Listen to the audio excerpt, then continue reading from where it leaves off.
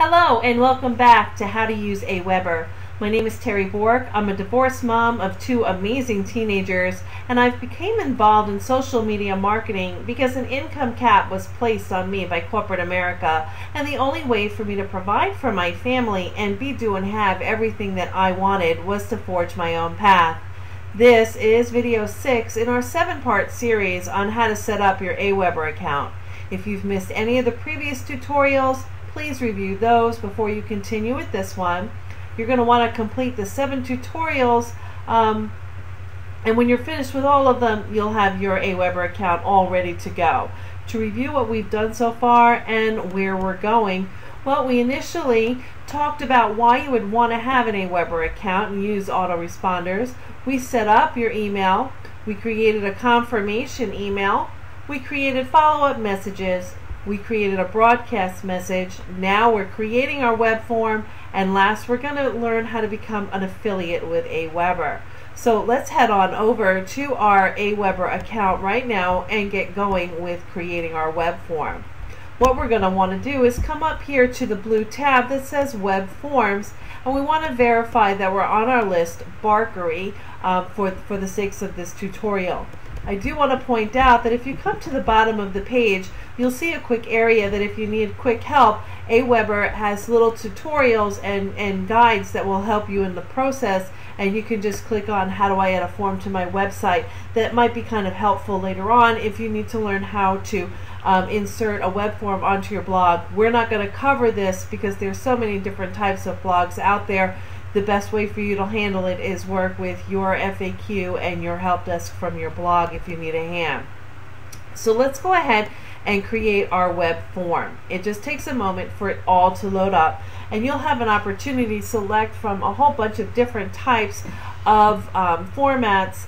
I like basic, um, it's easy for me to use, but whatever you enjoy, you can click on. There's a whole bunch of, of uh, forms that you can click on and make work for you.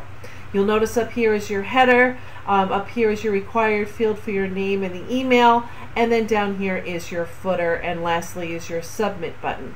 Okay, um, let's just take a look at each of these for a moment. In our name area, if you click on edit, um, you'll see that it's the name. It's going to be the full name. Um, if you want to change it to make it first and last name, um, you can click on that and it will actually change the requirement for you. I think full name is fine.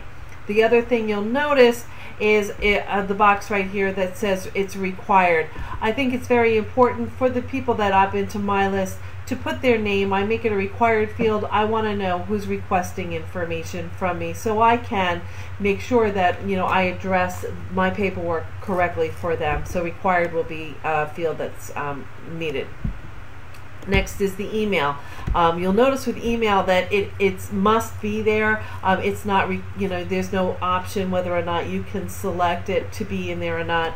The email label, um, it has to stay. You can call it something else if you want to.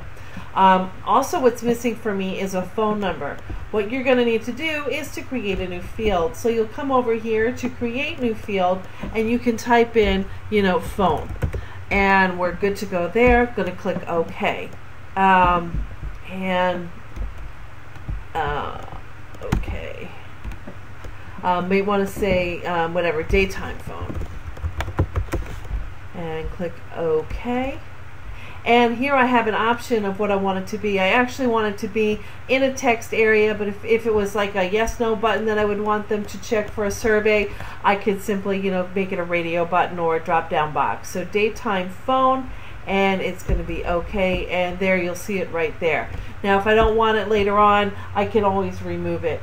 Now I don't make daytime phone a requirement on my um, on my opt-in sheet and the reason why I don't is because a lot of times you know either people won't opt in if they have to leave a phone number or they'll enter a wrong phone number or put one digit so I leave it as an option but I do want it on there just in case I want to reach out to them for any other purpose Okay, next I want to come up here to my header. I like putting in headers, and headers are kind of cool. I've got a nice big area, and this is where I get to tell people what they're opting into. So let's go ahead and add our information. I'm going to type in here, get your free ebook. Um, how to stop your dog from barking.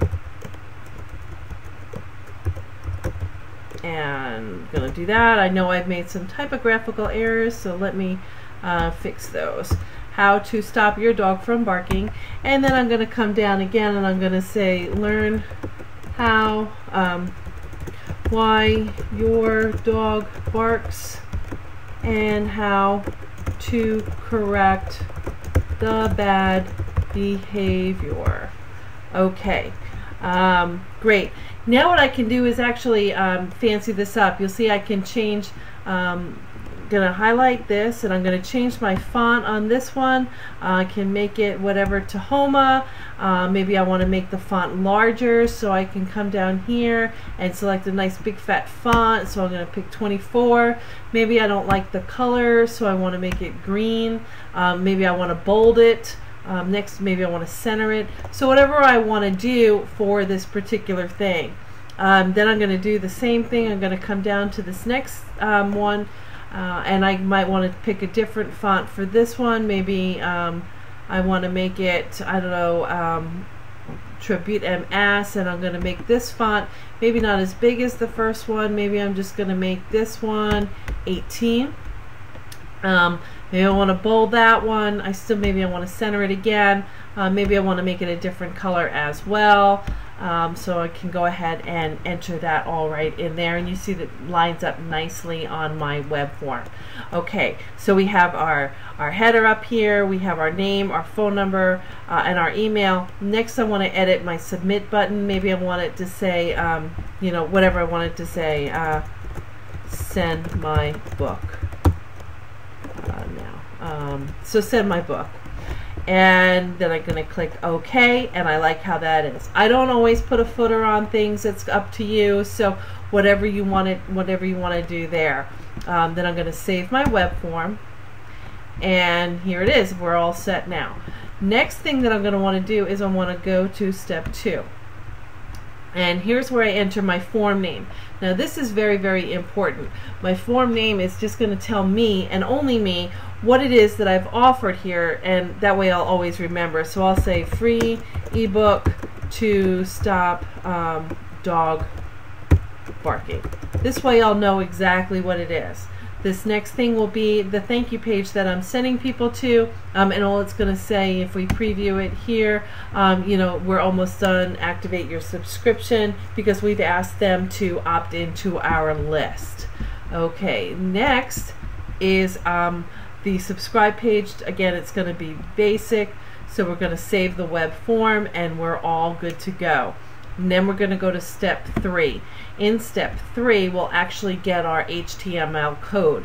So what I'll do is I'll click on I will install my web form and if I come right down here to my JavaScript I'm going to see it. It's right there. I can copy it. I'm going to copy and then I'm going to bring it over to my blog and I'm going to paste the link into my blog or onto my squeeze page or whatever it is. So there you have it. Nice and easy way to create a web form you are perfect to go with your AWeber account.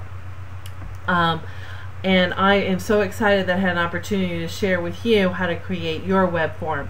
Um, if you have any questions, please give me a call. My number 813 863 1452.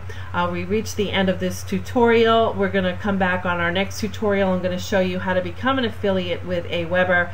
Um, if you found value in this tutorial, please share it with a friend. Again, my name is Terri Bork, and I look forward to seeing you on the next video. Make it a great day.